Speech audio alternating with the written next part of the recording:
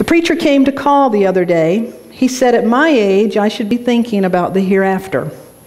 I told him, Oh, I do, all the time.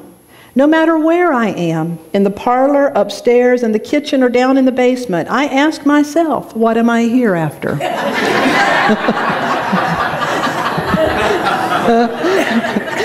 Can anybody else relate? know, in unity, that's the kind of hereafter we like. What am I here after? What am I here after? it's true, the mind is a terrible thing to waste or lose or to think too little of. The Buddhists say, in the beginner's mind, there are many possibilities. In the expert's mind, there are few.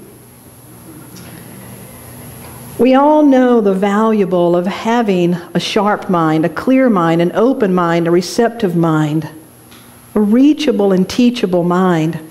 I love the bumper sticker that says, A mind is like a parachute. It only opens if it will open. It only works if it will open. I forgot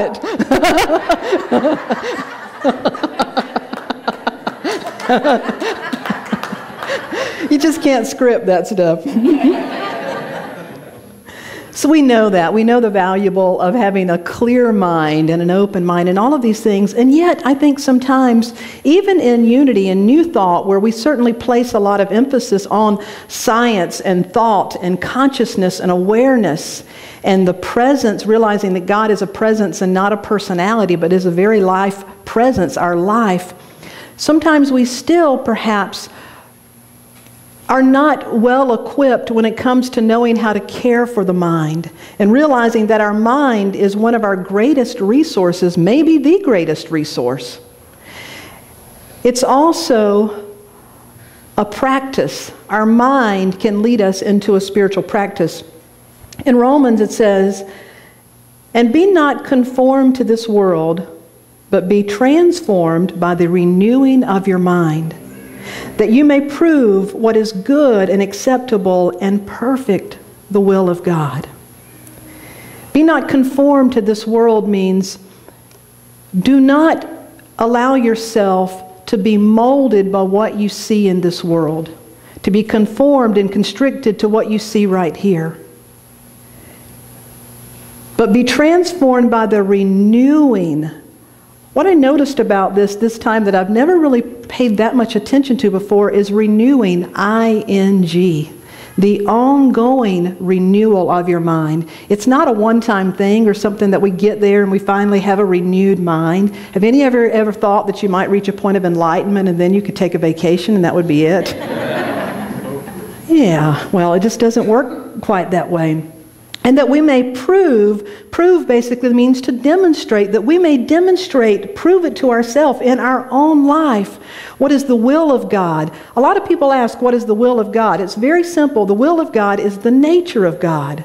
So when we're trying to prove the will of god we're trying to demonstrate the nature the presence of god the possibility of god in our own life. That's what we're here for. And so that happens through the renewing of our mind Science tells us that the mind and the brain are not really the same thing. Have you ever thought about that? That your mind is so much more than your brain. One person said the brain is like an engine while the mind is like the driver and the director of the car. Your mind is your connection to headquarters, to source, to the center of operations.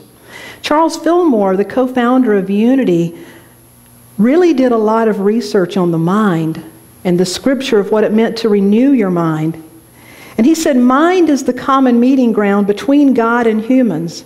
It is, it is, the most, it is through the most highly accelerated mind action, such as prayer, that we make conscious union with God.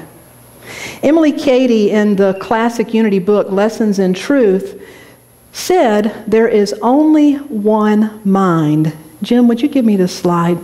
There's only one mind. I like to think about it like this there is God, G O D, the grand overall designer. The grand overall designer, call it whatever you will. But if there's that one power, that one presence, that one light, that one sun, We can extinguish this light, but have we extinguished fire? No. Any flame is but, a but one representation of fire. The mind of God, if you will, and today we're going to call that the mastermind, not because there's anything new you don't know about. It's simply a way of talking about an aspect of all that we call of God, the grand overall designer. We're going to use the term the mastermind, and I'll tell you more about that, or God mind, to help us understand that an aspect of that which we call of, as God is as if it's as if it is the one source that sources all of us. So when we say there's only one mind, there's only one power, one presence, one source of consciousness, and that each of us are individualized units of consciousness, that your mind is sourced by God mind. So would you turn to your neighbor and say, You got a nice God mind?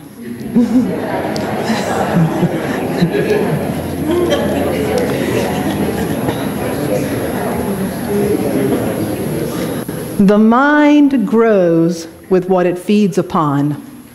The mind grows with what it exposes itself to and it feeds upon. It's that simple. And so we want to look at what are the characteristics of God. The first thing I want us to consider is this God wants to blow your mind. God mind wants to blow your mind. Say that with me. God wants to blow my mind. God wants to blow my mind. Just when I learned the answers, they changed the questions. That's life. Just when we learn something, just when we master, just when we get comfortable, just when we think we've got it figured out and the family's working right, the kids grow up, the job ends, the health changes, this happens, and that happens. Just when we learn the answers, the question changes. Well, that's the nature of the universe. In the 1920s, Edward Hubble, Edwin Hubble, started working with a type of telescope. He wanted to be able to measure the earth in relationship to the universe. Well, that led to the discovery of the Hubble telescope. Today, the Hubble telescope travels around the Earth every 97 minutes. The Hubble telescope makes its way across the United States in less than 10 minutes. Isn't that mind boggling? And what they discovered and continue to discover is that the universe is expanding at an unimaginable rate. That ever since it's been watched, and as we continue to watch it, the universe is expanding right now. You ever stop and think about the fact that at this very moment, you know, when our astronauts went to the moon and they took that beautiful picture and allowed us to look back at the Earth, something shifted in our consciousness. We saw how little we were in the scheme of things. And have you ever thought about it? This very minute, the universe is expanding by leaps and bounds. The Earth is this little ball flying through space. You are on it, being held in place, and yet we sit here as if nothing is moving. Can you wrap your mind around that? No. God intends to blow our mind. John Ruskin said, when we wrap ourselves in a, when we're all wrapped up in ourselves, we make pretty small packages. God is always trying to get us out of our package to blow our mind. Lynne McTaggart is author of her newest book is The Bond. She's written several books on consciousness, and she happened to be one of our speakers back in June at Unity's conference. And in the course of conversation, one of the things she said that led her to really start to study consciousness and mind, this mastermind that is God, she said, I noticed myself in deep moments of meditation. And there was always something in me, she said, I'll call it spirit. And I could always notice something that was seeking to express, no matter how much I, my ego, my personality, tried to hold it back. She said, It's the same way that I can sit here and hold my breath for a while. There's something inside of me fighting for survival that will force me to take a breath. In other words, I cannot sit here and suffocate myself because one part of my nature demands life.